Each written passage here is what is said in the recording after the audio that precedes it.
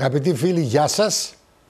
Η εκπομπή «Φίλατε την υγεία σου» μαζί σας με θέμα υπέρταση.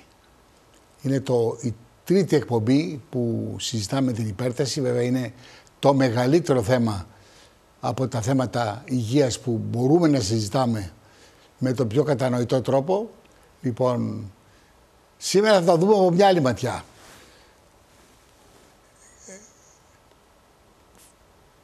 Μπορούμε να, για να δώσουμε έτσι μια πιο ευχάριστη, ε, θα έλεγα, νότα στην εκπομπή μας, να δούμε το πρώτο βίντεο που λέει «Ξέρετε την ηλικία της καρδιάς σας».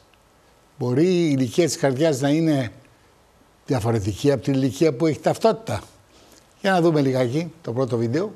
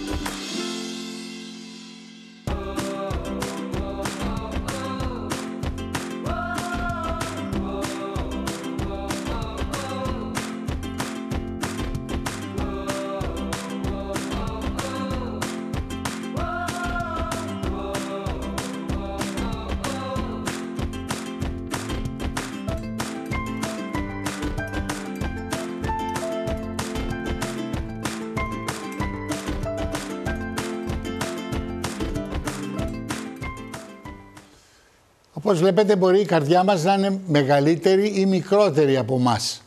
Αναλόγως με τον τρόπο τον οποίο ζούμε. Και αυτές οι πολύ γρήγορες ε, συμβουλές που μας έδωσε αυτό το, το βίντεο που είναι από το CDC, το ξέρουμε από τις, τις θέσεις που παίρνεις στις λοιμώξεις και στις ιώσεις, σας λέγω ότι είναι πραγματικά πάρα πολύ σωστό. Ένας λοιπόν άνθρωπος που είναι υπέρβαρος, που έχει χωριστερίνη που δεν ασχολείται, που έχει πίεση την οποία τη μετράει μόνο αν πετύχει κανένα πιεσόματο σε κανένα συγγενή και ο οποίος δεν κάνει καμία ε, κίνηση, είναι καθιστός όλη μέρα, αυτός έχει μεγαλύτερη ηλικία καρδιά από την κανονική του. Είναι 50 η καρδιά του είναι 75.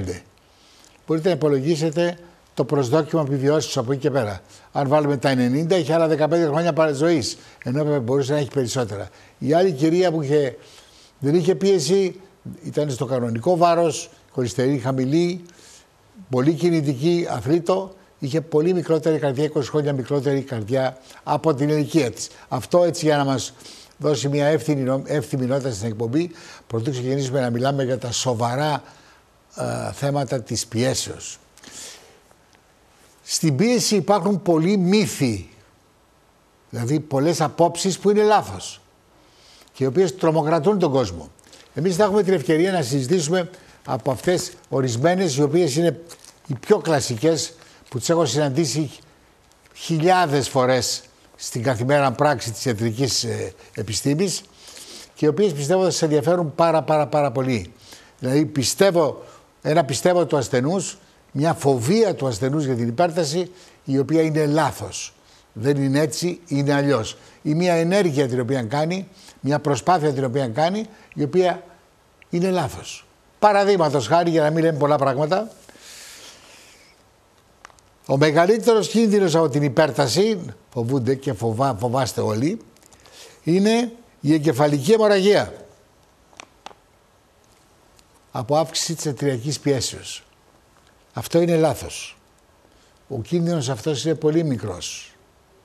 Συνήθως όταν ακούτε εγκεφαλικές αιμορραγίες και λοιπά και υπήρχε κάποια πιθανόν δυσπλασία στα αγγεία του εγκεφάλου, γι' αυτό και συμβαίνει και σε πολύ νέα παιδιά. Δυστυχώς ανεβρίσματα εγκεφαλικών αρτηριών κλπ.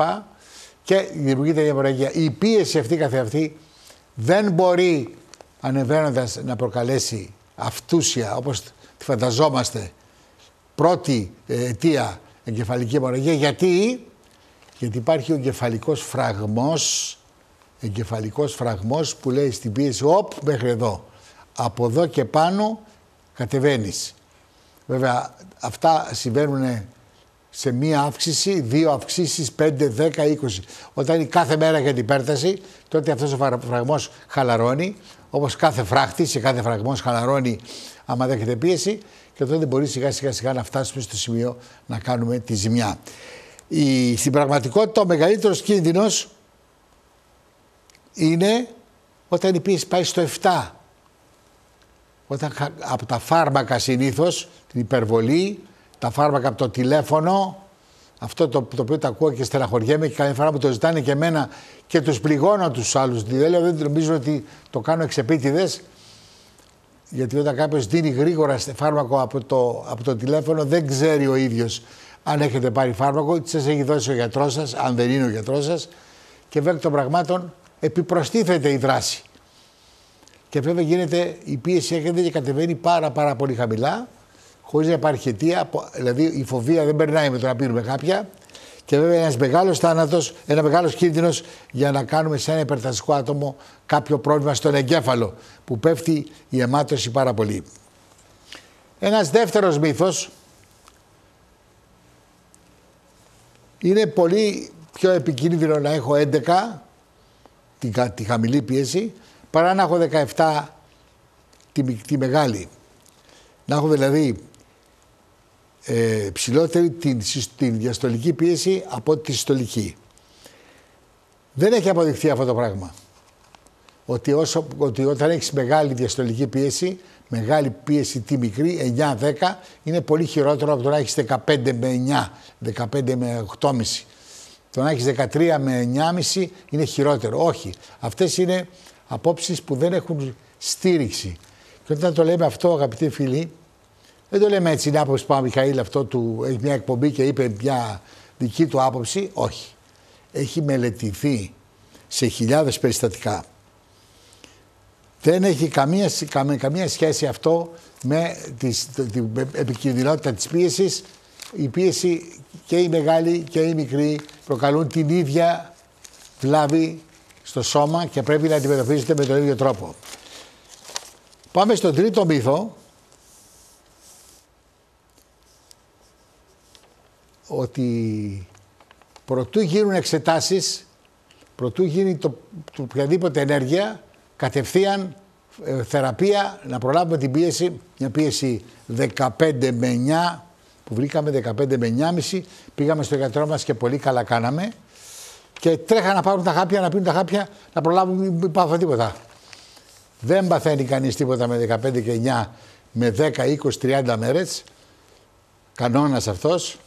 Μπορεί να πάθει όμως με φάρμακα τα οποία δεν πρόσεξε αν έπρεπε να τα πάρει, δεν πρόσεξε και εκείνος και ο γιατρός και ο ασθενής αν έπρεπε να πάρθουν εκείνη τη στιγμή ή έπρεπε να βεβαιωθούν για τη λειτουργία μερικών εργάνων τα οποία θα υποστούν τη δράση των φαρμάκων.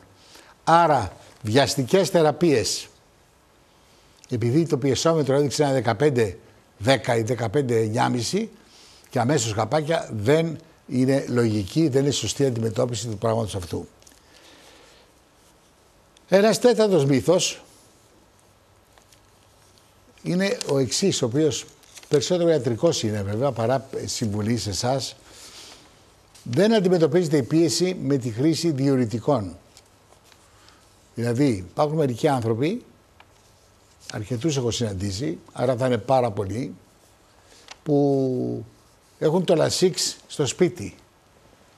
Λέω το Λασίξ που είναι ένα από τα πιο δυνατά διουρητικά φάρμακα και μόλις δουν την πίεση πήγε 15 με 8,5, 9, 8,8, 8,9 γιατί έχουμε και τα πιεζόμετρα τα ηλεκτρονικά που δείχνουν και αυτές τις τα 8,9 και 8,7 που τρελαίνουν τον κόσμο. Παπ ένα Λασίξ. Το Λασίξ έχει μια λειτουργία πάρα πολύ καλή και πάρα πολύ χρήσιμη, ειδικά σε ορισμένες περιπτώσεις πολύ βαριές. Βγάζει, λέει στα νεφρά, ανοίξτε τις πόρτες να φύγουν τα, να φύγουν τα ούρα και μην κάνετε επαναρροφήσεις.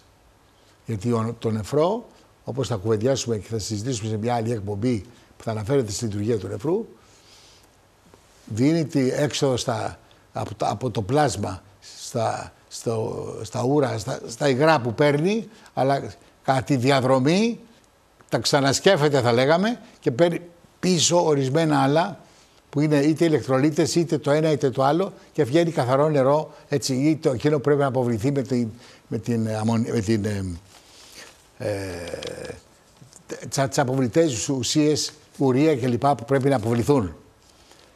Ένα λοιπόν ε, έτσι τυχαίο μπαμ λασίξ και μάλιστα μερικές φορές θα πω και το άλλο το οποίο είναι. Τι να πω τώρα, έπρεπε να ανάβει ένα φως πολύ, πολύ δυνατό εδώ, που να φαίνεται αλάρμ σαν να είναι μεγάλος κίνδυνος, που το παίρνουμε για να χάσουμε βάρος. Παχύναμε λίγο, είμαστε λίγο αφράτοι, αφράτες και παίρνουμε λασίξ για να ξεφουσκώσουμε. Ο οργανισμός, τα υγρά του, ξέρει γιατί τα χρειάζεται. Ξέρει πώς τα χρησιμοποιεί. Δεν μπορούμε να το εκβιάσουμε που το λασίξ εκβιάζει. Βγάλε ούρα. Δεν, δεν τον συζητάει, βγάλε ούρα. Και να βγάλουμε μισό κιλό, 750 γραμμάρια, ένα κιλό ε, νερό και να ζυγιστούμε ζυγαριά και να δούμε ένα κιλό παρακάτω και, ένα, παρακάτω και να πανηγυρίσουμε. Έχουμε ταράξει τον οργανισμό μας. Μιλάω για αυτούς που το κάνουν για λόγους παχυσαρκίας. Και βέβαια θα κάνει τα πάντα για να τα βάλει πίσω. Τα πάντα θα κάνει. Θα διψάσουμε, θα δούμε ότι θέλαμε ξαφνικά να φάμε δύο-τρία φρούτα παραπάνω, θα πάρει τα υγρά, θα, ένα χυμό, ένα ποτήρι νερό παραπάνω, θα τα πάρει, θα τα βάλει στη θέση τους. Άρα άδικος ο κόπος και άδικος ο μπελάς. Άρα λοιπόν τα διουρητικά δεν είναι αυτά τα οποία σκεφτόμαστε να ε, έχουμε σαν θεραπεία με ένα φάρμακο, προσέξτε, με ένα φάρμακο να δώσουμε ένα διουρητικό για να πέσει η πίεση και μάλιστα δύο-τρεις φορές τη βδομάδα. Σήμερα τα περισσότερα φάρμακα τα οποία πίνουμε για την, για την πίεση είναι συνδυασμοί. Είναι συνδυασμοί είτε με τη μορφή του κόου μπροστά από το φάρμακο του κόου φάρμακο ή του φάρμακο plus. Έχει λίγο διουρητικό. Έχει λίγο διουρητικό γιατί βοηθάει στη δράση του κυρίως φαρμάκου.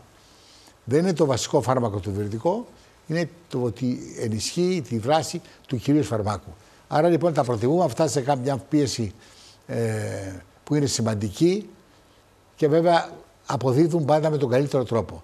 Τα ξαφνικά διουρητικά που, που εύκολα τα, τα, τα παίρνουμε δεν βοηθάνε, απλώς μπερδεύουν τον οργανισμό και αυτό βέβαια είναι άσχημο γιατί δεν ξέρει κανείς τι μπορεί να προκαλέσει η χρήση ενός διουρητικού που πέφτει έτσι τυχαία στην, ε, στον οργανισμό για να βγάλει ούρα και, και ηλεκτρολίτες. Υπάρχει και μία ακόμα, ένας ακόμα μύθος που λέει στους ηλικιωμένους η αρτηριακή πίεση δεν πρέπει να λατώνεται όταν είναι αυξημένη επειδή τα διάφορα όργανα όπως ο εγκέφαλος και οι νεφροί έχουν συνηθίσει να λειτουργούν με αυτή την πίεση. Έχει ο παππούς 18 με 8 συνήθως, με 7, 8. Γιατί ο ηλικιωμένος άνθρωπος έχει πάντα χαμηλή, τη χαμηλή πίεση και υψηλή, έχει δηλαδή ιστολική υπέρταση, συστολική. Μόνο τη μεγάλη πίεση, τη, τη μεγάλη πίεση έχει αυξημένη. Δεν μπορούμε να λέμε ότι συνήθισε με αυτή και δεν μπορούμε να του δώσουμε φάρμακα να τη ρίξουμε. Απλώς δεν τη ρίχνουμε απότομα. Το απότομα είναι μερικές φορές τραγικό. Απότομα, απότομα. Πώς πέφτει απότομα η πίεση, θα το πω αρκετές φορές στη σημερινή μας ε, εκπομπή, με το υπογλώσιο. Έχει πίεση, τρέχετε, είναι υπογλώσιο, είναι υπογλώσιο, είναι υπογλώσιο. Να το μασίσει, να το μασίσει. Αυτό θέλω να ξέρετε ότι είναι πάρα πολύ επικίνδυνο στις μεγάλες ηλικίες. Εάν έχει βέβαια ένα φοβερό πόνο στην καρδιά, έχει μια στιθάχη και τον βλέπετε ότι πάση υποφέρει την καρδιά του, είναι γνωστός καρδιακός ασθενής και έχει συνηθίσει να το παίρνει, προσέξτε, και από άλλη μορφή, όχι υπογλώσιο, με ένα νητρόδες, τότε μπορεί να δώσετε αυτό για τον πόνο του που προκαλεί και αύξηση της πιέσεως. Αλλά σε έναν άνθρωπο που, που, που προχωράει στον δρόμο και έχει με τη μια πίεση και λέει βγαίνει 18-18 και βγάζει από την τσέπη εδώ που έχετε τα, τα χαπάκια της τα υπογλώσσια του ανήκει και το βάζει στο στόμα, το πολύ πιθανόν, μην πω σίγουρο, θα πάει στο νοσοκομείο κάθιδρος με, με πίεση 8, 7, 8. Θα νομίζουν οι γιατροί ότι έχει πάθει κάποιο σοβαρό επεισόδιο. Έτσι, θα χρειαστεί μια μέρα να συνέλθει ο άνθρωπος για να του πούνε δεν ήταν τίποτα, το υπογλώσιο ήταν. Θα πάει πίεση 5, 6, 7 βαθμούς κάτω, απότομα και βέβαια ο οργανισμός θα αντιδράσει σαν να παθαίνει η βαριά υπόταση. Το σημειώνουμε λοιπόν αυτό, ίσως από τα πιο σημαντικά λάθη που κάνουμε. Και δυστυχώς μερικές φορές τα ακούω και σε νοσοκομεία, σε, σε, σε χαλασμό μεγάλων εφημεριών. Μπαίνει κάποιος με πίεση και λοιπά, πανικόβλητοι όλοι εκεί τρέχουν. Την πίεση, η πίεση. Η παπ, ένα, ένα υπογλώσιο. Βέβαια στο νοσοκομείο μέσα, κατά κάποιο τρόπο, υπάρχει ασφάλεια του ότι ό,τι και να γίνει θα αντιμετωπιστεί από τους γιατρούς. Έτσι. Αλλά στο δρόμο, υπογλώσιο, γιατί έχει πίεση κλπ. Λάθος μεγάλο και μερικές φορές καταστροφικό για τους ε, κακούς χρήστες αυτής της θεραπευτικής αγωγής.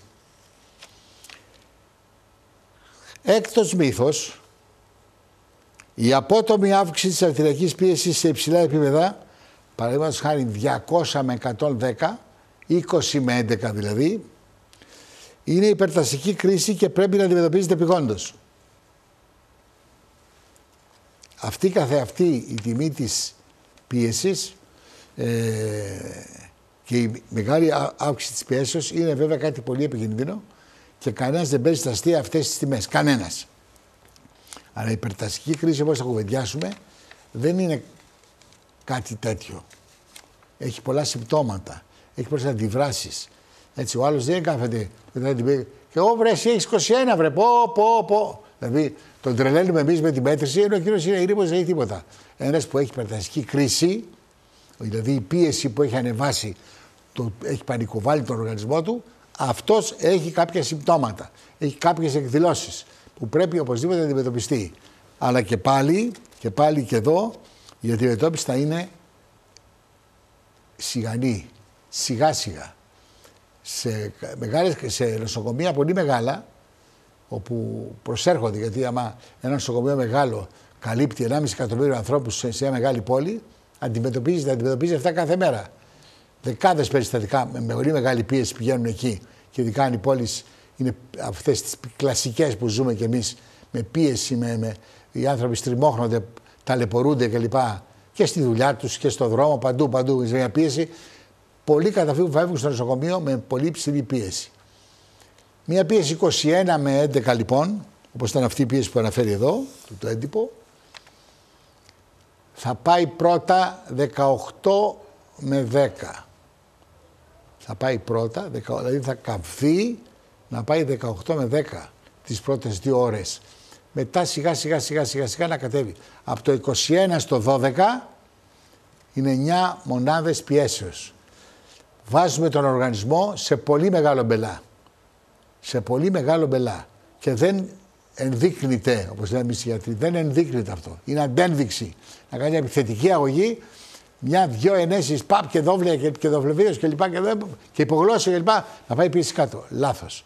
Μπορεί να εκδηλωθεί ένα μείζον, ένα πολύ μεγάλο αγκιακό επεισόδιο ή καρδιακό επεισόδιο με την βίαιη ε, κάθοδο της πιέσεως φαρμακευτικά ε, που μπορεί να συμβεί σε ένα τμήμα επιγόντων ή στο σπίτι μας. Και μπορεί να έχουμε τα χάπια που στο σπίτι, δεν υπάρχει σπίτι στην Ελλάδα που να μην έχει 5-6 κουτάκια για, για την πίεση, να το λέμε αυτό, άντε τρία. Από τα πολλά που γράφονται και αφήνονται στην άκρη και πάρει και το άλλο, πάρει και το καινούργιο, πάρει και εκείνο. Υπάρχουν. Αν λοιπόν αυτά τα πάρουμε, όλα θα δράσουν. Θα κατεβάσουν την πίεση βίαια βία κάδος πιέσεως δεν χρειάζεται. Εκτός, εκτός, παρένθεση, πολύ σημαντική, και έχουμε εκδήλωση κάποιου φαινομένου. Στη θάχη, πονάει φοβερά ο άνθρωπός μας ή εμείς. Κάνει στη θάχη. Δεύτερον, κάνει καρδιακή ανεπάρκεια, κάνει δύσπλια, δυσπνοή, σκάει, δεν μπορεί να σάνει κλπ. Τότε κάνουμε επίθεση για να βοηθήσουμε το άτομο να ξεφύγει από, το, από αυτό το αυτή τη θηλιά, το βρόγχο που έχει κάνει πίεση και πάει να, να μας τον πάρει, να πάει, να, πάει να μας το σκοτώσει. Εκεί επιτρέπεται να κάνουμε μια θεραπεία πιο επιθετική που θα τη βλέπουμε, θα την κρίνουμε όχι από το, από το πιεσόμετρο, αλλά από την κατάσταση του ασθενούς. Αρχίζει για να πνέει, του, αρχίζει, του περνάει σιγά σιγά ο πόνος, ηρεμούμε κι εμείς σιγά σιγά πάλι πίεση. Έτσι. Έχουμε τα συμπτώματα, τα αντιμετωπίζουμε μαζί με το ρολόι της πίεσης, αλλά αυτό το βλέπουμε δευτερεύον. Πρωτεύον είναι το σύμπτωμα το οποίο έχει κάνει τον, τον άνθρωπό μας, τον, τον ασθενή μας να έρχεται στο, στα επίγοντα και να προσπαθεί να βρει λύση. Ο υπερτασικός είναι σε θέση, μύθος, να καταλαβαίνει πότε ανεβαίνει η πίεση με βάση τα συμπτώματα που του προκαλεί. Εδώ είναι θέμα δύο εκπομπών. Γιατί εδώ τρελαίνεται όλος ο κόσμος. Το καταλαβαίνω, κατα... μου ανεβαίνει η πίεση, το καταλαβαίνω, που είσαι το αυτί μου το δεξί, χίλια δύο πράγματα. Με πιάνει η τρότας, με πιάνει τρέμουλο, ανεβαίνει η πίεσή μου. Δεν έχει αποδειχθεί συσχέτιση του ύψους της αρτηριακής πιέσεως με την εμφάνιση συμπτωμάτων. Το λέμε, το λέμε, το λέμε, δεν το ακούμε. Όπως είναι ο πονοκέφαλος, η ζάλη, οι εμβοές, η λαθασμένη αντίληψη ότι η πίεσή μου αυξάνει, ανεβάζει την πίεση. Θυμηθείτε το αυτό. Ο φόβος ότι ανεβαίνει η πίεσή μου, ανεβαίνει, ανεβαίνει, το, το αισθάνομαι ανεβαίνει, είναι αυτό που στην πραγματικότητα ο πανικός αυτός είναι που ανεβάζει την πίεση και δημιουργεί όλη αυτή την κατάσταση. Το σωστό είναι να εφαρμόζεται σταθερή θεραπεία. Άμα βλέπετε ότι η πίεση πιάνει πίεση 17, 16, 17 και πάτε στο γιατρό. Βλέπει, επιβεβαιώνει, ελέγχει τα όργανα στόχους που είναι μάτια, καρδιά, νεφρά, ότι έχουν υποστεί ή δεν έχουν υποστεί βλάβη. Οπότε καταλαβαίνετε πόσο πιο αθώα είναι μια πίεση που δεν έχει δημιουργήσει πρόβλημα. Ή βλέπεις σκληρημένα αγγεία στα μάτια, τα νεφρά αρχίζουν και κάνουν λίγο, ανεβάζουν λίγο την ουρία, η καρδιά έχει μεγαλώσει. Τότε η θεραπεία είναι αυστηρή, ανεξάρτητα με το τι δείχνει το ρολόι. Θα πάει η πίεση κάτω από 13, οπωσδήποτε, για να προλάβουμε το κακό που σιγά σιγά χτίζεται.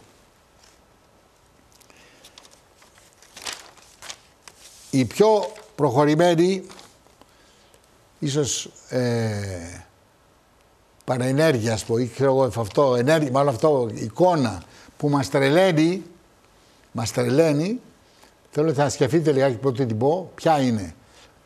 Ποια είναι αυτή που μας τρελαίνει και τρέχουμε όλοι, πώς είπα, τον παππού και τη γιαγιά τη βουτάμε και τρέχουμε σαν τρελή. Ποια είναι αυτή; Η γιαγιά μας μιλάει και μας λέει δεν έχει πάθει εγκεφαλικό επεισόδιο, μην τη μην Καλά είναι, αλλά κάτι τι συμβαίνει. Τι τη συμβαίνει, έχει ρινοραγία. Οι ρινοραγίες πια στο, στις εφημερίες είναι, τι να σας πω, κάτι το πολύ πολύ πολύ συνηθισμένο. Και έρχεται και ευτυχώς που έσπασε το κακό και έφυγε το κακό αίμα και γλίτωσε. Γιατί αν έσπαγε το αγκείο στον εγκέφαλο, τότε θα είχαμε κεφαλική αιμορραγία. Ευτυχώς που έσπασε η μύτη και έτρεχε η μύτη. Εδώ είναι δεν μπορώ να σας περιγράψω πόσο λάθος η σκέψη αυτή σχετικά με το ανθρώπινο σώμα. Γιατί το λέω αυτό. Μια ρινοραγία οφείλεται σε, σε φλεβικό, φλεβική, έσπασε ένα μικρό φλεβίδιο στη μύτη μας. Αυτά που σπάνε συνήθως και χρειάζεται να το κρατήσουμε λιγάκι για να σταματήσει και να φύγει. Δεν έχει καμία σχέση με αρτηρία. Ενώ στο, στο κεφαλικό επεισόδιο είναι αρτηρία αυτή που σπάει. Λοιπόν, εκ των πραγμάτων λοιπόν η ειρηνοραγία δεν σημαίνει ότι ε, έχουμε να κάνουμε με μια πίεση που έρχεται να μας κάνει κακό και ευτυχώς που η βαλβίδα άνοιξε τις μύτης συγγνώμη, και έτρεξε το αίμα και γλιτώσαμε. Απλώς έχω μια ειρηνοραγία που την αντιμετωπίζουμε όπως όλες τις άλλες. Αν είναι πάρα πολύ πάμε στο νοσοκομείο για την ειρηνοραγία. Βέβαια, αυτός που έχει ειρηνοραγία, ακόμα και ο πιο θαραλέος, φοβάται ότι υποστεί η πίεσή του και ανεβάζει την πίεση, γιατί η πίεση, όπως ξέρετε, ανεβαίνει από το φόβο και τον πανικό. Ενδιαφέρον το θέμα, θα το συζητήσουμε μετά το διάλειμμα για λίγο.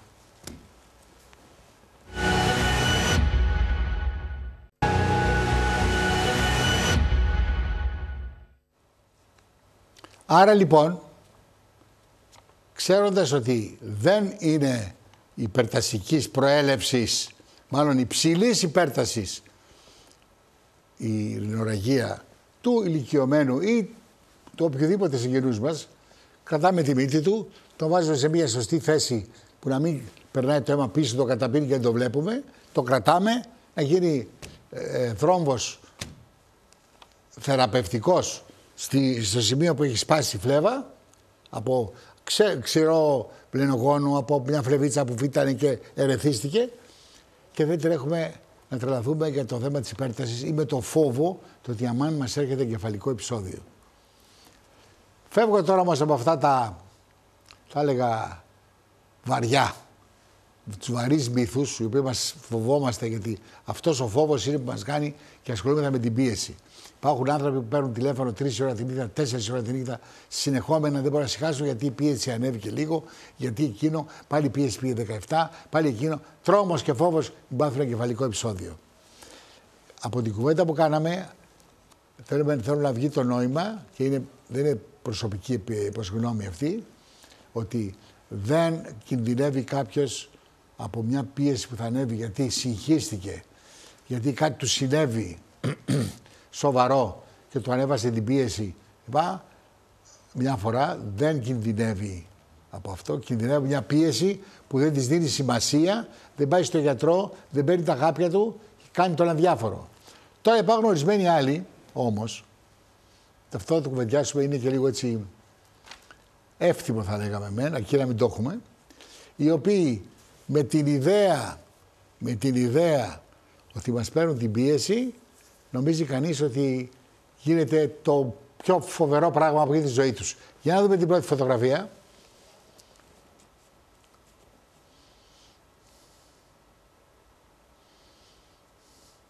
Εδώ βλέπετε, του παίρνει την πίεση και κυριολεκτικά τρέμει από τον δρόμο του, γιατί δεν μπορεί να σταθεί όρθιος, επειδή του παίρνει ο γιατρός την πίεση.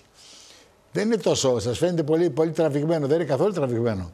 Το έχουμε δει πάρα πολλές φορές. Δεν μπορώ εγώ να πάρετε όρθιος, δεν μπορώ, θα πέσω κάτω. Δεν μπορώ. Βάλτε με να ξαπλώσω. Ε, δεν μπορώ, δεν μπορώ, δεν μπορώ, δεν μπορώ. Για να δούμε και ένα άλλο που είναι πιο χαρακτηριστικό. Τη δεύτερη φωτογραφία, παρακαλώ. Και εδώ βλέπετε τον, τον κύριο αυτόν, την πίεση του παίρνει και νομίζει κανείς ότι του ξεριζώνει τα δάχτυλα. Έτσι, αλλά και ο γιατρός, όπως βλέπετε, έχει αγανακτήσει.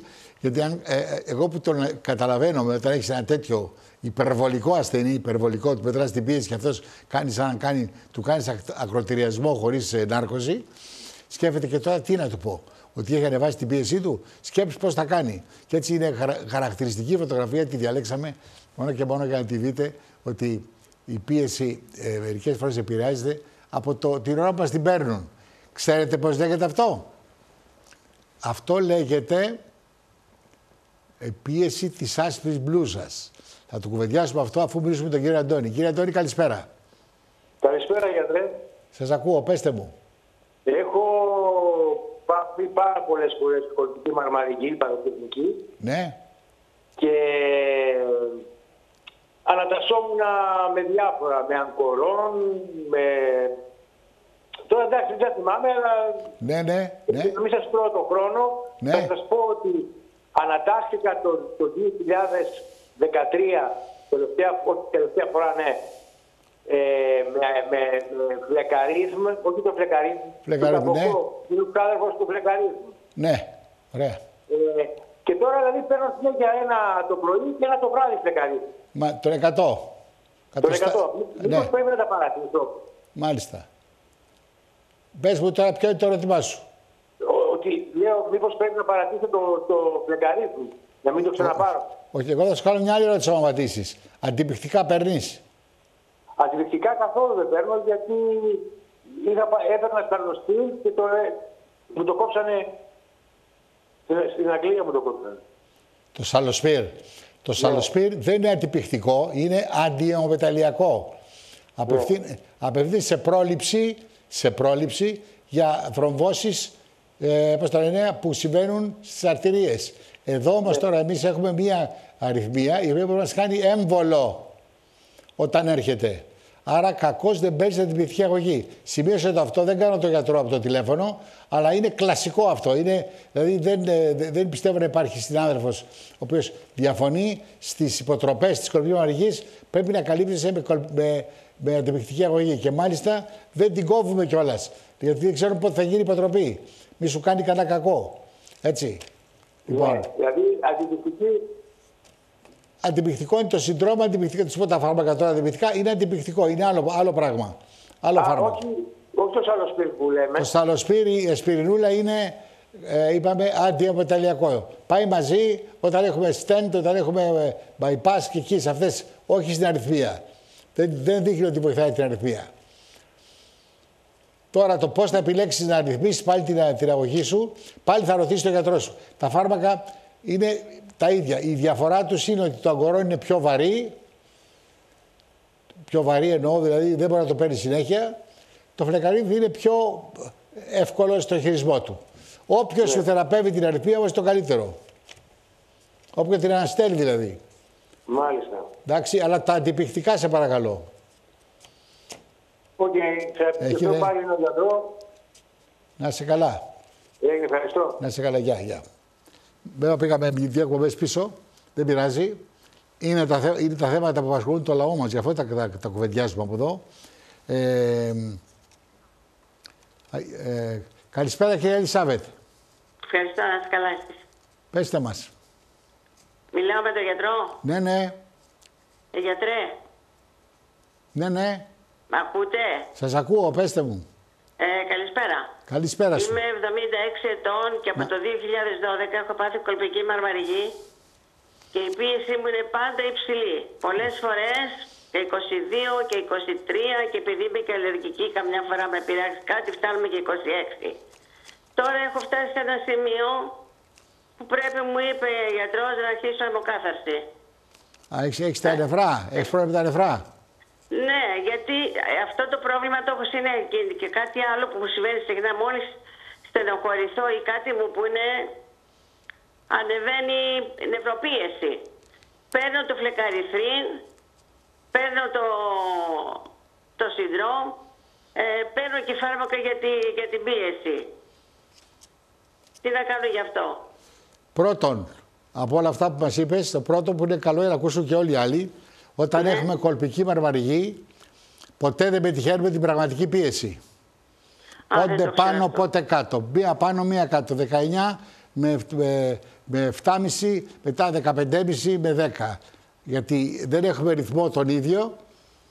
Οπότε όπου σταματήσει το πιεσόμετρο, εκεί μετράει η πίεση, ό,τι βρει. Και άμα οι σφίξεις είναι κοντινές, θα είναι χαμηλή. Αν η σφίξη είναι μεγάλη, θα πάει ψηλά. Άρα λοιπόν δεν είμαστε τόσο πολύ κρεμασμένοι πάνω στην πίεση, αλλά για αυτές τις πιέσεις που μου λες και για την νεφρική ανεπάρκεια που αναφέρεις, Τώρα έτσι. ξεκινάει, γιατί είμαι 2-13 έχω κρεατινίνη τώρα. Κρατηρίνη, Ναι. Κρατηρίνη. Με, λοιπόν, με τον νεφρολόγο τώρα πλέον, μπαίνεις στα, στα χέρια του νεφρολόγου τώρα. Έτσι. Ναι. Να φυλάξουμε τα νεφρά.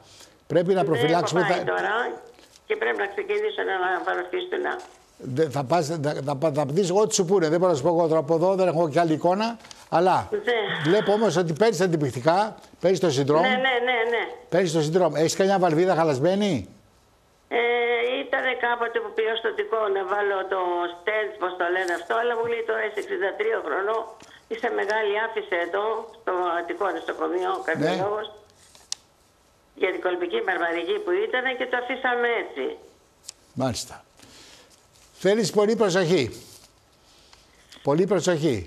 Έτσι. Ο νεφρολόγος τώρα παίζει μεγάλο ρόλο να προστατεύσει τα νεφρά οπωσδήποτε και βέβαια ο καρδιολόγος δίπλα σου για να ρυθμίσει λίγο την Καρδιολόγος, αριθμία. ναι, και ό,τι ώρα το χρειαστώ τη νύχτα. το Έτσι, παίρνω. μπράβο, ναι, γι' αυτό Αλλά λέω. γιατί ανεβαίνει τόσο πολύ δεν μπορώ, δεν μπορώ να καταλάβω. Ναι, αυτή τη στιγμή Απ' αν, την αν αρχή μπαίνουν που και τα ξεκινάει, νεφρά... Μπορεί να φτάσει 25, 26, 13, 14 η Λοιπόν, μικρή. μην, εάν μπαίνουν τα νεφρά στη μέση, θα, ο νεφρολόγος θα δώσει λύση εδώ. Έτσι, Αυτό είναι νεφρική το πίεση. 14, ε, Μπορεί η να σου μικρή δώσει. πίεση ήταν πριν. Τώρα είναι, πιο, είναι κάπως καλύτερα, πιο ρυθμισμένη. Ναι. Και δεν ξέρω, δεν ξέρω. πο- πο- Ξανά δεν τα- ξέρω να πώς τα- έφτασες σε αυτό το δεν- σημείο. δεν μ' ότι ακούς έφταξε. όμως, δεν- Στον δεν μ' ακούς καρδιολόγο όμως. πήγαινα συνέχεια. Ναι, Στον λοιπόν, καρδιολόγο πήγαινε συνέχεια και πηγαίνω. Λοιπόν, στο νεφρολόγο, ξαναπάει ε, για τα νεφρά, Ναι. γιατί άμα κάνεις νεφρο, νεφρογενή πίεση, θέλει άλλη αντιμετώπιση και άλλα φάρμακα από αυτά που δίνουμε εμείς συνήθως για τις πιέσεις.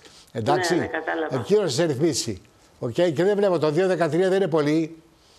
Δεν είναι πολύ το 2.13 που μου λες κρατηρίνη. Ναι, Δεν- 2-13 είναι η κρεατινίνη. Εντάξει, δεν είναι, δεν είναι πολύ. Αλλά στα χέρια του νεφρολόγου πιστεύω ότι εύκολα να τα ρυθμίσει. Εντάξει. Να σας ευχαριστώ πάρα Να είσαι πολύ. καλά, να είσαι καλά. υγεία. Να είσαι καλά, να είσαι καλά. Ε, υπάρχουν βέβαια τα περιπεπλεγμένα πράγματα, αυτές οι καταστάσεις περιπεπλεγμένε. Πραγματικά δεν ξέρει κανείς ποιο νήμα να πιάσει και πού να σταθεί για να λύσει τον κόμπο αυτό. Ε, η πίεση όμως, για την πίεση μιλάμε τώρα, και βλέπετε ότι σήμερα πήρα πιο πολλές ερωτήσεις για την κολπική μου αργή, ε, δεν περνάει, περνάω τώρα στους δύο τελευταίους και πολύ σημαντικούς μύθους, δεν περνάει με σκόρδο. Για να πάρουμε σκόρδο και η, η, μια ουσία που έχει το σκόρδο να βοηθήσει την πίεσή μας να πέσει σαν αντιπερταστικό φάρμακο, πρέπει να πάρουμε βάση των αυτό που έψαχα και το βρήκα εγώ αυτά όλα για να μπορώ να σας ενημερώσω 15 με 30 σκελίδες σκόρδο μπορεί κανείς να πάρει να παίρνει δύο φορές τη μέρα. Θα έρθει θα, θα, θα, θα, θα πλαντάξει. Βέβαια θα μπείτε υπάρχουν τα συμπληρώματα τα οποία ναι μεν λοιπόν. παρά τα αυτά δεν θεωρείται ασφαλής αντιμετώπιση της υπέρτασης να παίρνουμε σκόρδο. Δεν θεωρείται. Λοιπόν, μετά λέμε γιατί έπαθα, γιατί η καρδιά μου μεγάλωσε, γιατί η καρδιά μου δεν πάει καλά κλπ. Και την αφήναμε πάντοτε με πίεση, προσπαθώντας να αποφύγουμε τα φάρμακα, μια θεωρία η οποία δυστυχώς ε, αρέσει πολύ και στο, και στο λαό μας. Ό,τι να είναι χωρίς φάρμακο, να το πάρω. Ό,τι είναι με φάρμακο, κάθομαι διστακτικός. Λοιπόν, δεν είναι λοιπόν η, ε, το, το, το σκόρδο αυτό το οποίο ή τα χάπια σκόρδου δεν μπορούν να κάνουν ε, θεραπεία υπέρτασης, αλλά εκείνο που θα κάνουν σίγουρα θα σας αφήσουν μια χαρακτηριστική μυρωδιά που όλη η πολυκατοικία θα την ξέρει. Πότε θα βγείτε, θα σας κατεβείτε κάτω, θα είναι τόση μυρωδιά που θα μυρίζει όλη η πολυκατοικία. Πάμε τώρα και σε κάτι θετικό, μη λέμε αρνητικό, δεν είναι το σκόρδο. Τα πορτοκάλια δεν ανεβάζουν την πίεση, γιατί έχουν περισσότερο κάλιο. Και το κάλιο βοηθάει σε πάρα πολλά σημεία, πάρα πολλά πράγματα. Οι μόνοι που μένουν παραπονεμένοι εδώ από τα πορτοκάλια είναι αυτοί που έχουν το ζαχαράκι υψημένο. Γιατί εάν δεν είναι ξηρό το πορτοκάλι και είναι γλυκό, έχει ζάχαρη και αυτή το, θα το ανεβάζει το ζάχαρό του και θα έχει τις επιλογέ του ζαχάρου. Όλοι οι άλλοι όμως μπορούν να χρησιμοποιούν το πορτοκάλι χωρίς να φοβούνται ότι θα τους ανέβει η πίεση και ότι μπορούν να δημιουργήσουν καταστάσεις στον οργανισμό τους. Και η τελευταία μας, ε, ο τελευταίος μύθος είναι η αντιπεραταστική ε, θεραπεία, εάν παίρνουμε αντιπεραταστικό φάρμακα, εξαλείφει τελείως τον κίνδυνο εφράγματος ή εγκεφαλικού. Κοιτάξτε, η αντιπληκτική θεραπεία είναι μία θεραπεία. Την παίρνετε γιατί έχετε πίεση. Αν έχετε μόνο πίεση και τη διορθώσετε, πολύ πιθανόν φεύγετε πολύ μακριά από τον κίνδυνο να πάβετε ένα εγκεφαλικό επεισόδιο και, ε, και, ή ένα έμφραγμα ή μια καρδιακή ανεπάρκεια. Αλλά όταν έχετε και άλλα μαζί, τότε πρέπει να προσέξετε και τα άλλα. Και η χολυστερίνη και το ζάχαρο μπορούν να σας ε, ενοχοποιούν και να σας επιβαρύνουν και πρέπει μαζί με αυτά να βάλετε ένα σωστό ρυθμό, να κοιτάτε και τα τρία-τέσσερα μαζί αυτά που έχετε για να ρυθμίσετε καλά τον οργανισμό να έχει μια πολύ καλή ζωή μακριά από τις επιπλοκές των πραγμάτων αυτών. Έτσι λοιπόν, μιλήσαμε λιγάκι για, τις, για την υπέρταση, βγάλαμε μερικές τέτοιες καταστάσεις.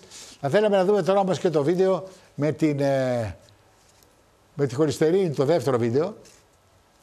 Περισσότερο έτσι για καλύτερο κλίμα. Να, ο Χοντρούλης εδώ, τον βλέπετε τι ωραία περπατάει.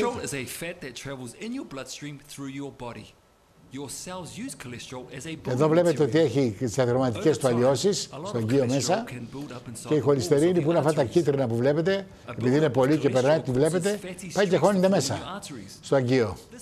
Περισσεύει και χώνεται μέσα στο αγκείο. Και αυτό βέβαια, όπως βλέπετε, το τείχομα φουσκώνει. Θα φουσκώσει μέχρι ένα σημείο, δεν μπορεί να φουσκώσει συνέχεια. Μετά από ένα ορισμένο σημείο θα γίνει το κακό. Δεν μπορεί κάψα να το ε, έκανε ρήξη της κάψας, έκανε θρόμβωση εσωτερική και δημιούργησε ένα ισχυμικό βαρύ επεισόδιο διότι στη χολυστερίνη δεν έδινε καμία σημασία αυτός ο μεγαλούτσικος κύριος που βλέπετε εδώ ενώ είχε τόσες πολύ ωραίες άλλες ευκαιρίες να ζήσει, να παντρέψει, να κολυμπήσει, να κάνει κλπ. κλπ. Δεν πρόσεχε τη χολυστερίνη του και εκ των πραγμάτων ε, έκανε κακό στον εαυτό του. Δεν καπνίζουμε λοιπόν, προσέχουμε για τροφή μας, περπατάμε, προσέχουμε το βάρος μας και παίρνουμε τη θεραπεία μας. Εάν έχουμε προβλήματα, δεν μπορούμε να τα αποφύγουμε αυτά Δεν μπορούμε να κάνουμε φιλοσοφία σε αυτά πάνω. Αυτά δεν παίζουν. Αυτά υπακούμε. Έχουμε τον καλό γιατρό μας, συζητάμε μαζί του και λέμε, βάζουμε μια σειρά τι πρέπει να κάνουμε, διότι μόνο έτσι μπορούμε να είμαστε σίγουροι ότι δεν θα μας έρθει κανένα κακό, κανένα κεραμίδι που είναι το αγκιακό επεισόδιο. Το οποίο στην πραγματικότητα έρχεται εκεί που το περιμένεις και ενώ νομίζεις ότι όλα είναι καλά, βρίσκεσαι σακατεμένο από ένα αγκιακό επεισόδιο. Η εκπομπή δεν θέλει να τρομάξει κανέναν. Δεν έχει κανένα λόγο και ούτε διαφημίζει, όπως βλέπετε, πολύ προσεκτικά φάρμακα ή φαρμακευτικές ιστορίες κλπ. Όχι. Αυτά θα τα βρείτε με τον γιατρό σας. Εκείνος θα επιλέξει, εκείνος θα σας πει, εκείνος ξέρει και εκείνος θα σας δώσει την κατάλληλη θεραπεία. Υπάρχουν θεραπείες και είναι άδικο να βρεθείτε σε μια μονάδα εμφραγμάτων ή εγκεφαλικών επεισοδίων γιατί ο γιατρός που σας παρακολουθεί εκεί θα σας πει: Βρε Χριστιανέ μου, δεν ήξερες ότι δεν μπορούσε να καπνίσει τρία πακέτα ζευγάρια την ημέρα. Δεν ήξερες ότι η χωριστερή δεν μπορεί να είναι 300. Μα είναι δυνατόν να έχει πίεση 180-170 και, και να γελάσει και να λες δεν είναι τίποτα, έτσι ήταν και ο παππούς μου. Να, που βρέθηκες τώρα. Άρα λοιπόν υπάρχουν λύσεις, πρέπει να τις ακολουθήσουμε. Δόξα τω Θεώ, στη χώρα μας έχουμε την ευκαιρία να προμηθευτούμε όποιο φάρμακο χρειαζόμαστε για αυτές τις καταστάσεις. Θα έλεγα με μια υπεραφθονία, υπεραφθονία θα έλεγα. Το θέμα είναι ότι μερικές φορές εμείς γινόμαστε μυστήριοι και πότε το σκεφτόμαστε, να το πω, το ξεχνάμε, το ξεχνάμε, να αφήνουμε 24 ώρες τον οργανισμό μας χωρίς φάρμακο, έτσι, γιατί δεν είμαστε συνεπείς σε με κάποια πράγματα. Η πίεσή μας είναι πολύ σημαντική. Μακάρι να είμαστε από εκείνους τους ευλογημένους ανθρώπους οι οποίοι έχουν 12 πίεση με 7. Γιατί μην μου τη μετρήσεις γιατί έχω 12 με 7. Τη μετράς 12 με 7. Μπράβο. Μα εγώ δεν είχα ποτέ παραπάνω πίεση, ούτε η μητέρα μου πήγε 95 χρονών και ο πατέρας μου πήγε 98 χρονών, είχαν παραπάνω πίεση. Εδώ είναι και τα πολύ καλά γονίδια, τα οποία είτε έτσι τα αλλιώ δεν τα έχουμε. Γι' αυτό και έχουμε λίγο πιεσούλα, γι' αυτό και πάμε στον παθολόγο μας, γι' αυτό και πάμε στον καρδιολόγο μας για να μας τα ρυθμίσει λιγάκι. Τώρα είναι και το εξής λαθασμένη άποψη, μύθος μεγάλος, που λέει, ξέρετε κάτι, εγώ είμαι από μια οικογένεια που όλοι έχουν πίεση και όλοι φεύγουν στα 55-60, εκεί φεύγουν από κεφαλικά επεισόδια. Αυτή είναι η μοίρα μου. Εκεί θα πάω κι εγώ. Λάθος. Λάθος. Εδώ τα γονίδια δεν σε πάνε εκεί. Σε προειδοποιούν να αλλάξεις κάποια πράγματα. Άλλαξε κάποια πράγματα. Τα γονίδια τα έχεις, την ευαισθησία την έχεις. Άλλαξε κάποια πράγματα. Δεν ανάβεις τσιγάρο ούτε στο βουνό. Μόνος σου. Διότι σε πειράζει. Δεν αφήνεις τη χωριστερή να πάει πάνω από 200 γιατί ξέρεις ότι έχεις πίεση και δεν πρέπει να είναι παραπάνω. Δεν, δεν, δεν, δεν, δεν, το ζάχαρο είναι φυσιολογικό. Περπατάς βόλτα με τη γυναίκα σου, βόλτα με τα παιδιά σου, με τα εγγόνια σου, με την άλλη δεν είναι για να κάνεις περπάτημα μόνο σου σαν να είναι καταναγκαστικό για να ξεφύγεις από αυτό το γονίδιο το οποίο αν δεν το ακούσεις και δεν το προσέξεις θα σε οδηγήσει εκεί που οδήγησε όλη την οικογένεια. Άρα λοιπόν δεν είναι κατάρα να ξέρεις ότι η οικογένειά σου έχει προβλήματα και είχε και βλέπεις ότι έχεις χάσει πολλούς δικούς σου με τον ίδιο τρόπο από τα ίδια πράγματα, προσέχεις περισσότερο. Αυτή είναι η συμβουλή. Προσέχεις περισσότερο. Δεν παραφημολογείς και παραφα, παρα, παραφιλολογείς σε θέματα που αφορούν την υγεία σου. Και κυρίως δεν επιμένεις να ακούς τι λένε οι άλλοι. Ξέρετε πόσο κουραστικό είναι σε ένα γιατρό να έχει ένα ασθενή ρυθμισμένο η πίεση να είναι κάτω από. Ένας πήγε 16-17 και τώρα είναι κάτω από 14, άντε 14 και μισό, 14. Χωρίς παρενέργειες, χωρίς τίποτα, τίποτα, απολύτως τίποτα. Με κάποια φάρμακα. Και κάποια στιγμή που έρχεται, αρκετέ μετά από αρκετό καιρό, το βλέπει απορριθμισμένο. Με 17 πίεση πάλι και λοιπά και τι έγινε, τι έπαθες, τι, τι συνέβη. Να μου ρε παιδί μου, μου είπε κάποια δικιά μας η οποία είχε δουλέψει σε ένα νοσοκομείο, ξέρω εγώ τι είχε δουλέψει, ό,τι θέλει. Πολλά φάρμακα παίρνεις, ρε παιδί μου. Πολλά φάρμακα παίρνεις. Αυτά έτσι κι αλλιώς περνάνε από το σηκώτη, σου κάνουν κανένα καρκίνο. Λοιπόν, εκ των πραγμάτων δεν ακούμε άλλους παρά μόνο το γιατρό μας. Ούτε την τηλεόραση ακούμε. Έτσι. Ούτε το, το γιατρό μας ακούμε. Το γιατρό μας ακούμε. Όχι τον Παπα ακούμε. Την τηλεόραση. Καλά, η τηλεόραση μας υπενθυμίζει. Μας ε, προτρέπει. Αλλά δεν μας αλλάζει ούτε θεραπείες ούτε μπορεί να ξέρει ακριβώς αν το χάπι αυτό Δεν το έδωσε ο, ο, ο, γιατρός γιατί είχες κάτι άλλο που δεν το ξέρει και δεν το είπες και γι' αυτό εκείνος που το ξέρει δεν στο έδωσε. Άρα λοιπόν, παρακαλώ στην υπέρταση μια σοβαρή αντιμετώπιση, όχι φόβο, όχι πανικό, αντιμετωπίζεται. Θέλει όμως μια προσοχή και, και θέλει και άλλα πράγματα. Νο, νο, α, έχουμε μια γραμμή. Ωραία. Κυρία Κική, καλησπέρα. Καλησπέρα, γιατρέ μου. Πέστε μου. Καλά που σας βλέπουμε στην τηλεόραση και μπορούμε να πούμε το πρόβλημά μας.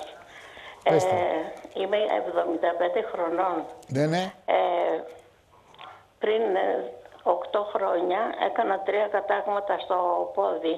Πάτησα ένα παιχνιδάκι παιδικό και σπέσπασαν στο κουτουπιάκι αστραγάλι. Μάλιστα. Δεν ήθελα με κανέναν τρόπο να χειρουργηθώ γιατί εκείνη την εποχή είχα ένα πρόβλημα σοβαρό με το παιδί μου και δεν ήθελα να δω πόρτα χειρουργείου. Μάλιστα. Εν πάση περιπτώσει με βάλανε στην άκρη και μετά από μία ώρα με, ένα, με κάτι, δεν ξέρω τι ήταν εκεί πέρα, μου το χώσανε στο, έκανε ένα κράτς, μπήκε στη θέση του το πόδι. Ναι, ναι, το μου βγάλανε ακτινογραφίες, με βάλανε στο γύψο μετά.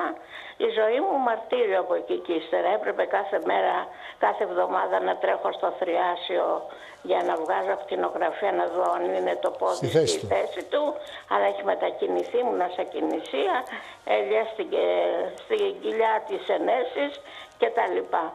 Από εκείνο το καιρό και ύστερα ε, έχασα όλη μου την ψυχολογία. Με ναι. είχε η κόρη μου εκεί τα για έξι μήνες. Από εκεί και ύστερα ήρθα στο σπίτι μου. Μόλις πάω να σκουπίσω να κάνω, πέφτω κάτω, σπάω το ισχύο μου. Πάω στο νοσοκομείο στην Νίκαια, με χειρουργούνε. Μάλιστα. Από τότε δεν έχω διάσπρη μέρα. Είμαι 12 χρόνια κλεισμένη μέσα. Μάλιστα, Δεν μπορώ να περπατήσω. Πάω στο γιατρό, τον παίρνω τηλέφωνο. Βγάζω πλάκες γιατί έχω και το νεοπή κοντά μου το ΙΚΑ. Ναι. Και μου λένε ότι σου το έχει φάει το ένα το πόδι. Δεν μπορώ να προχωρήσω. Κουτσένω. Μάλιστα. Ο γιατρός δεν το παραδέχεται και δεν παραδέχεται και τους γιατρούς του ΙΚΑ. Γιατί; Δεν τι είναι γιατρικίνη. Εγώ τι, τι να σου πω δηλαδή τώρα από εδώ. Δεν μπορώ να σας πω τίποτα γι' αυτό, όπως καταλαβαίνετε, αλλά βλέπω ότι έχετε πρόβλημα μεγάλο. Έχετε πρόβλημα μεγάλο. Δηλαδή με τα, με τα οστά, με, με τα κατάγματα και με αυτές τις καταστάσεις. Θα πρέπει να αναλάβει κάποιος σε κάποιο μεγάλο νοσοκομείο με μεγάλη ορθοπαιδική κλινική, με μεγάλη εμπειρία, να διορθώσει τα διόρθωτα. Δεν είναι θέμα του κάθε γιατρού που έχει ένα ιατρείο κλπ. Δεν είναι δύσκολα αυτά, είναι δύσκολα. Έτσι κυρία και εκεί. Είναι δύσκολα. Συμπαραστέκομαι απόλυτα, αλλά δεν μπορώ να δώσω λύσεις. Ευχαριστώ πολύ, πήρατε τηλέφωνο. Ε, αγαπητοί φίλοι, εμείς την επόμενη εβδομάδα θα συνεχίσουμε την υπέρταση, να ολοκληρώσουμε κάποιες ειδικές μορφές υπέρτασης. Ακούστηκε μία σήμερα από τα νεφρά πίεση, ενδοκρινική πίεση από, τα, από τους αδένες, έτσι. Και πρέπει από εκεί και πέρα να κατευθυνόμαστε σε σωστό τρόπο. Δεν μπορεί κάποιος να έχει νευρογενή πίεση και να μην ε, ε, ε, συμβουλεύεται, να μην, να μην το, κουράρεται από έναν νεφρολόγο. Έχουμε νεφρολόγους εξαιρετικούς, ξέρει πώς θα πάει καλύτερα τη διαδρομή στη θεραπεία μας, να κρατήσει και τα νεφρά γερά και την πίεση να την, να φέρει στη θέση της. Σας εύχομαι μια πολύ καλή εβδομάδα. Την επόμενη φορά συνεχίζουμε πάλι με την υπέρταση να είμαστε πάλι μαζί. Γεια σας.